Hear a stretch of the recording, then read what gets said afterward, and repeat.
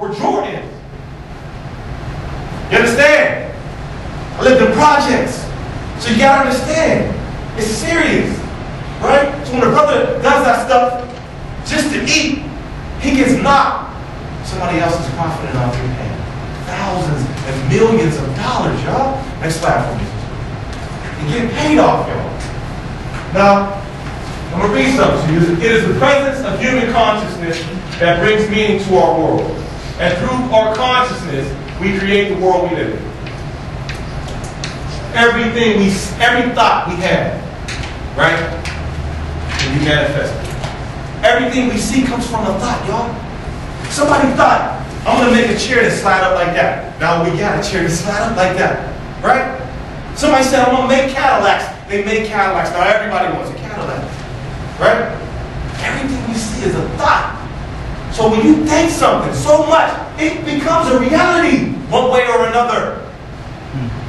Do you understand? Now, what consciousness are we in? Where are we at? Right? The older generation is tired of y'all. They're afraid of y'all. They're scared of y'all. They think y'all some fools.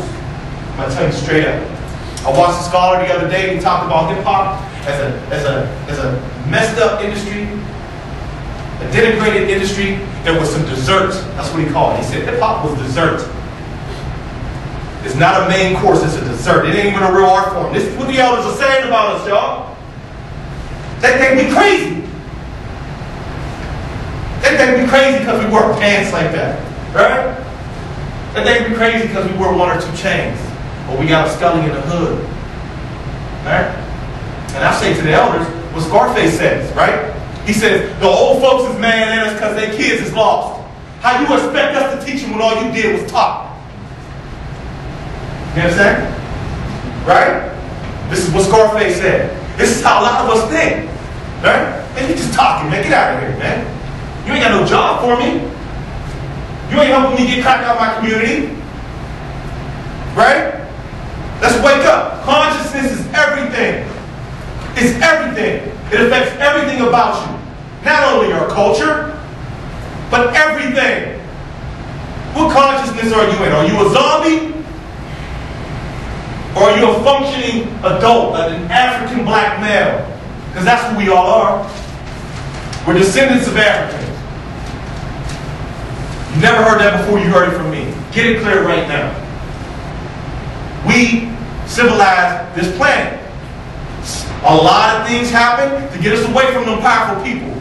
When we did some things to, you know, civilize the world, we gave the world math, agriculture, science. You look at what they call the pygmies, who were really called the Twa. You look at the Kushites, you look at the Egyptians. Okay? You look at these historical people, and there's evidence. Not myth or allegory. Evidence. Not myth or allegory. Just Raise your hand if you know what an allegory is. Please raise your hand. Explain what an allegory is to the brothers, please. Yes, sir. I'm going to shake your hand, brother. Thank you. Could you stand, could you stand up and say that louder for me, please? What's an allegory? An Allegory is like a theoretical story. Theoretical story. Something that someone made up from the truth. All right, I'll give you an example. We have the Nation of Islam, the Yaqub story. That is an allegory, right? But there's truth in that allegory. When they say that the Yaqub invented the white man, and he, the white man went into the cave, there's truth to that. But it's really an allegory. And I love Elijah Muhammad. I don't knock him for what he tried to do, right? But the story's allegory. The Grimaldi Africans went into the caves, got stuck in the ice age, and came out white. That is true. There's evidence, there's historical evidence to back that up. Okay? There's no evidence to say that an evil scientist took the germ of a black man and made the white man.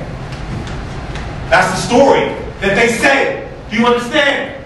There's allegory and there's myth. And then there's truth. Okay? As you grow, understand that. Learn that. Listen to what your adults are saying. But break it down when you as you get older and understand that a lot of things are allegory and myth. Next slide for me. Now, Asa G. Hilliard talked about Tim Master Keys. Asa G. Hilliard is a professor of psychology at Georgia State. He was one of the guys on the front that I talked about. Okay? Now we're going to go around the room and one at a time. We're going to read one of these. Start with the brother here. Read number one for me, please. Control of thought. Control of thought. What is that, y'all? Control of thought. To control what you think. Control your mind. Your mind is a vessel. It is a powerful weapon that can take you out of anything. It'll take you out of any situation. This thing in between your two ears, which a lot of young brothers don't use. Right? Control of thought. Control what you think. Control what you put in your body. You be saying those songs, turn them off. You see a movie with a brother with a dress acting like a fool, turn it off. Kind lets their men wear dresses and entertain. Come on, man. Read, read number two for me, brother. Control of action. Control of action. Very simple. Control of action. You got to control what you do. You got to watch what you do. Fly out. Life is a series of serious choices. I wrote about in my book, y'all. Brother Dead Press. Life is a series of serious choices. One choice will destroy you. One wrong choice will destroy the rest of your life. I'll give you an example. You have a baby out of wedlock. You knock the sister up. She's 16, you 17, and you knock her up. You stuck with that baby for the rest of your life. And it's a woman that you ain't even really like. You was just doing it to have fun. Now imagine what she got to go through. By herself, man gone, this was with her, right? She got with him because he has some fresh sneaks on. He's popular, right? One wrong choice will mess up your whole life. Flat out. Read number three for me, sister, please. Steadfastness of purpose. Steadfastness of purpose. Raise your hand if anybody understands what that means. Steadfastness of purpose. Right? Steadfastness of purpose. Stick to your goals. Work hard at what you do. These three brothers right here, the Woolworths, they travel the country, y'all. They practice, what do y'all practice? Three, four times a week? What is it, every day? Every day. Every day these brothers is practicing. Right? Steadfastness of purpose. Stay on your objective. Right? Whatever you're trying to do, do it hard. Go hard at it. Right? When I learned that a scholar in Africa had to study for 22 years before he became a teacher, I said, hold up here. I got a long way to go. Right? And I got to stay on my purpose, which is to find out what happened to us, y'all, and to teach it to y'all. Without fear, without worry, without being watered down, flat out. Read number four for me, brother. Identify with spiritual life. Identify with the spiritual light. Identify with the spiritual light. That means that some some kind of way you got to tap into that spiritual side of, side of you. We all have it. As Africans, we're a spiritual people. You've always been a spiritual people. Now, whatever you do, if you're Muslim, if you're Christian, I'm not here to knock that. You understand? But identify with something that'll make you a better person. That can give you some kind of code to live by. And study it. Be prudent. And the Bible says a wise man is a prudent man. That means you don't believe everything that you hear. You listen to me, you go right down Bobby Wright, you go right down Van Sertima, you research it yourself. And then you say, oh, that brother Steve J was right. Then you say I was right. Not because I stand here and I sound like I'm right. A prudent man. Do you understand? Remember that, y'all. Number five for me, brother. evidence of having a mission in life. Evidence of having a mission in life. You gotta have some type of evidence. Some type of your behavior has to reflect some type of way of having a mission, a reason to live. A lot of our brothers walk around with no reason to live, y'all. You understand? I got a car, I catch the bus every now and then just to jail with people, just to ride it, and just to see how the people talk. And man, the other day I rode, I looked at these young brothers and I said, oh my goodness. Look at how these brothers is talking. He's on the phone talking about, you got that scale for me, yo? Yo, you got that scale? Say, give, me them baggies. On the phone? You don't even know how to hustle right. Goofy? You so goofy, you don't even know how to hustle. You talking about it on the goddamn phone. You understand? How silly is that? Serious, man. We have no mission in life. We walk around just doing whatever not saying nobody in this room is like that, but I'm saying our people in general, a lot of us are like that. We don't know what time it is, we don't know what we're doing, we're going through day to day. And a lot of times it ain't the child's fault, it's the parents or the people who are raising this child. Right? I talked about the first page in my book, how, and I asked the question, is it the mother's fault? Is it the father's fault? Right?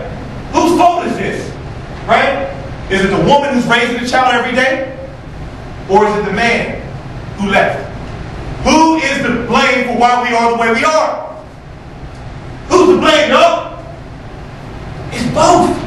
It's both. It ain't just one, it's both. The woman got to step up her game and understand who she is, realize her that she's God's nurturer, and do the right thing. See, we blame the man a lot because, you know, the man ain't there. I got to be the man in there. But no, no, no, no, no, no. You look back in time to the matriarchal societies of Africa, the woman did the raising by herself for thousands of years.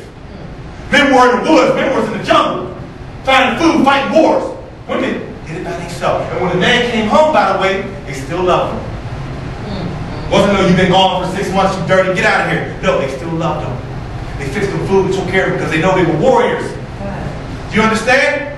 Come on, y'all. Next, brother. Number six, Evidence of the call to spiritual order. split. You got to show some type of evidence that you have tapped into some type of spirituality. It has to show in your behavior. You can't just say that we, you know, I'm a Christian, I'm a Muslim, I'm a 5%. It's not enough to say that. Okay? It's not enough to say that. You got to show in your behavior, in your daily life.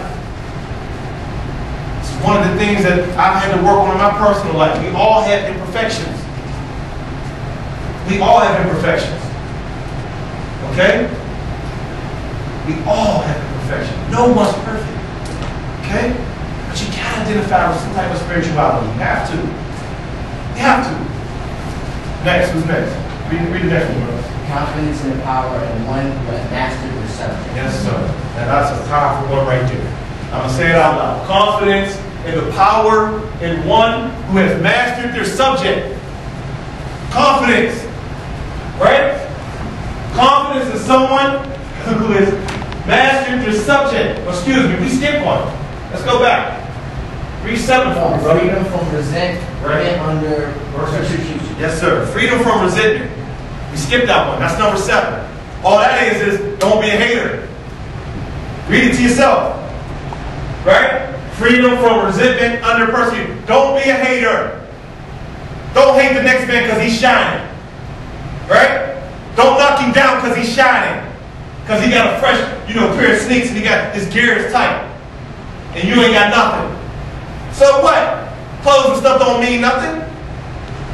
Don't make the man. Don't no car, no house make the man. You understand? Don't be a hater. And the next one, we already read, confidence in the power in one who has mastered the subject. You gotta have confidence in someone who's mastered the subject. Help them. Support people. Show love. It's one of the biggest things that we have a lack of. We scared to say love each other. We scared to tell brother, you know I love you, for fear of being called gay. You understand? Everybody has a male or female side to them. Dualities. Everybody has both. The problem is, that we tend to lean too much on the masculine and not the feminine. A balanced person will use both.